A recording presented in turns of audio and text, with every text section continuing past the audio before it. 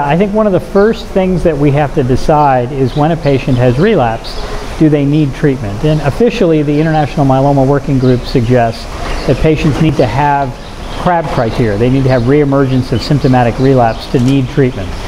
I don't know that we have to necessarily go that to that extreme, but just because a patient has biochemical relapse doesn't mean they necessarily need therapy either.